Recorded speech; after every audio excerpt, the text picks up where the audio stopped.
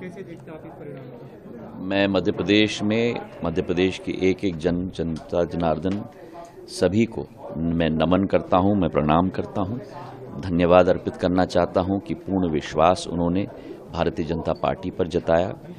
भाजपा की double engine की सरकार, प्रधानमंत्री नरेंद्र मोदी जी का नेतृत्व, गृह मंत्री अमित शाह जी और राष्ट्रीय अध्यक्ष जेपी नड्डा जी का मार्गदर्शन और मध्य प्रदेश में भाजपा का एक एक कार्यकर्ता शिवराज सिंह जी का नेतृत्व जनहितेशी जो नीतियाँ उन्होंने क्रियान्वयन की हैं उसी का फल है कि आज मध्य प्रदेश का एक एक जन जनार्दन असीम बहुमत के साथ। मैं, मैंने भी जो सोचा था उससे कई गुना ज़्यादा आज भाजपा के पक्ष में आया है।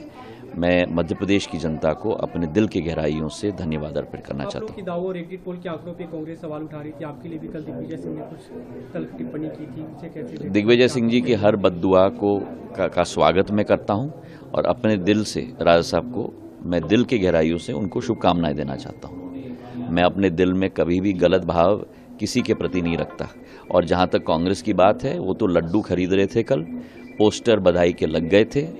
हम लोग बड़े चुपचाप से अपना काम कर रहे थे क्योंकि हमें पूरा विश्वास था कि जनता का आशीर्वाद भारतीय जनता पार्टी के साथ रहा है और जनता ने अपना निर्णय साफ़ कर दिया है।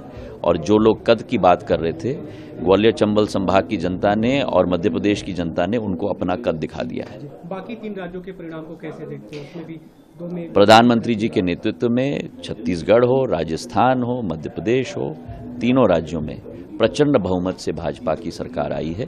प्रधानमंत्री जी का नेतृत्व देश की 140 करोड़ जनता के लिए गौरव का विषय है। और प्रधानमंत्री जी के नेतृत्व में भारत विश्व पटल पर नई ऊंचाइयाँ छू रहा है। क्या विनिंग एमएलए के लिए कोई डायरेक्शन है? पार्टी की तरफ़ से उन्हें बुलाया गया है? क्या विधायक दल ये ये मुख्यमंत्री शिवराज सिंह जी और प्रदेश अध्यक्ष बी डी शर्मा जी तय करेंगे। हम मैं भाजपा का सामान्य कार्यकर्ता हूँ। जो भी वो दोनों तय करेंगे उसी के तहत हम लोग कार्य करेंगे। राज्य में आपकी मेरी भूमिका सदैव राज्य में एक जनसेवक की रही है। 2002 से जब से जनसेवा का पथ मैंने अपनाया है, ज़रूर आशा अभिलाषा मेरी है। वो आशा अभिलाषा है विकास की और प्रगति की।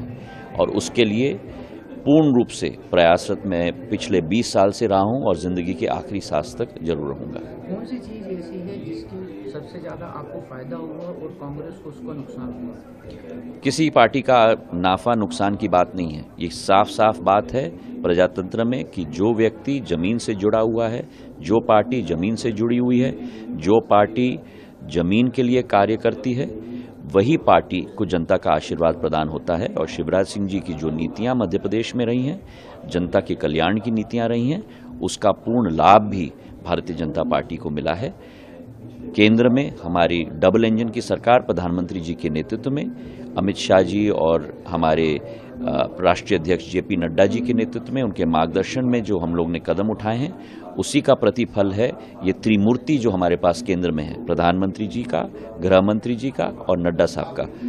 केंद्र का त्रिमूर्ति, मध्य प्रदेश में एक एक भाजपा का कार्यकर्ता, शिवराज सिंह जी के नेतृत्व में, बी डी शर्मा जी के नेतृत्व में, उसी का फल है कि आज पूर्ण परिणाम हमारे पक्ष में आया है। बहुत बड़ा असर, बहुत बड़ा असर। लाडली बहना, मैं कहूँगा कि पूर्ण रूप से गेम चेंजर है और इसका पूर्ण श्रेय अगर एक व्यक्ति को जाता है तो वो केवल शिवराज सिंह चौहान जी को जाता है।